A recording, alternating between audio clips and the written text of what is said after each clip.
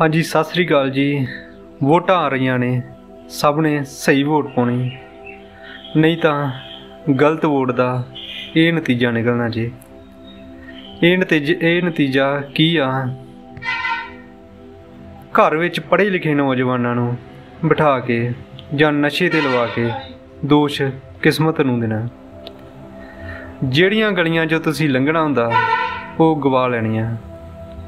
ਜਿਹੜੀਆਂ ਸੜਕਾਂ ਤੇ ਤੁਸੀਂ ਸਾਈਕਲ, ਮੋਟਰਸਾਈਕਲ ਜਾਂ ਕਾਰ ਆਰਾਮ ਨਾਲ ਚਲਾਉਣੀ ਹੁੰਦੀ, ਉਹ ਗਵਾ ਲੈਣੀ। ਬੈਂਕਾਂ 'ਚ ਪੈਸੇ ਕਢਵਾਉਣ ਲਈ ਲੰਮੀਆਂ ਲੰਮੀਆਂ ਬਜ਼ੁਰਗਾਂ ਦੀਆਂ ਕਤਾਰਾਂ ਦੇਖਣੀਆਂ। ਇਹ ਸਿਰਫ ਬੈਂਕਾਂ 'ਚ ਘੱਟ ਕਰਮਚਾਰੀ ਹੋਣ ਦਾ ਕਾਰਨ ਹੈ। ਸੁਵਿਧਾ ਕੇਂਦਰਾਂ ਵਿੱਚ ਕਈ ਕਈ ਦਿਨ ਧੱਕੇ ਖਾਣੇ ਤੇ ਥੱਕ ਕੇ ਕਈ ਸੁਵਿਧਾਵਾਂ ਤੋਂ ਵਾਂਝੇ ਰਹਿ ਜਾਣਾ।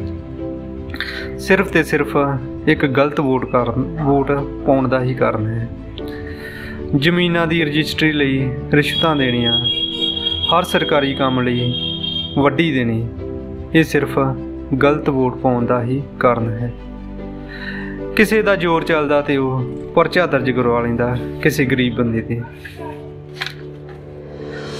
ਤੁਹਾਡੇ ਸਰਕਾਰੀ ਮਕਾਨ, ਤੁਹਾਡੀਆਂ ਫਲੱਸ਼ਾਂ ਬੱਚਿਆਂ ਲਈ ਖੇਡਾਂ ਦਾ ਸਮਾਨ ਤੇ ਅਜਿਹੇ ਹੋਰ ਵੀ ਕਈ ਲਾਭ ਜਿਨ੍ਹਾਂ ਨੂੰ ਤੁਸੀਂ ਇੱਕ ਗਲਤ ਵੋਟ ਕਾਰਨ ਗਵਾ ਲੈਂਦੇ ਜੀ। ਸਰਕਾਰੀ ਸਕੂਲ ਜਾਂ ਸਰਕਾਰੀ ਸਕੂਲ ਵਿੱਚ ਪ੍ਰਾਈਵੇਟ ਸਕੂਲਾਂ ਵਰਗੀਆਂ ਸਹੂਲਤਾਂ ਨੂੰ ਗਵਾ ਲੈਣਾ, ਹਸਪਤਾਲਾਂ ਵਿੱਚ ਵੱਡੀਆਂ ਵੱਡੀਆਂ ਬਿਮਾਰੀਆਂ ਦੇ ਇਲਾਜ ਤੋਂ ਵਾਂਝੇ ਰਹਿ ਜਾਣਾ ਤੇ ਪ੍ਰਾਈਵੇਟ ਹਸਪਤਾਲਾਂ ਵਿੱਚ ਨਾ ਪਹੁੰਚਿਆ ਜਾਣਾ। ਇਹ ਸਭ ਸਕੀਮਾਂ ਗਲਤ ਵੋਟ ਪਾਉਣ ਨਾਲ ਹੀ ਖੁੰਝ ਜਾਂਦੀਆਂ ਨੇ। ਘਰ ਵਿੱਚ ਸੌਦਾ ਮੁਕਾ। ਪਰ ਇੰਨਾ ਮਹਿੰਗਾ ਕਿਉਂ?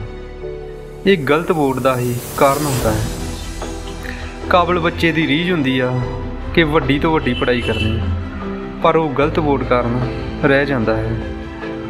ਮੁੱਦੇ ਦਾ ਕਈ ਨੇ ਕਹਿਣ ਵਾਲੇ, ਪਰ ਇੱਥੇ ਇਹਨਾਂ ਕੁ ਕਹਿ ਕੇ ਇਜਾਜ਼ਤ ਲੈਣਾ ਧੰਨਵਾਦ।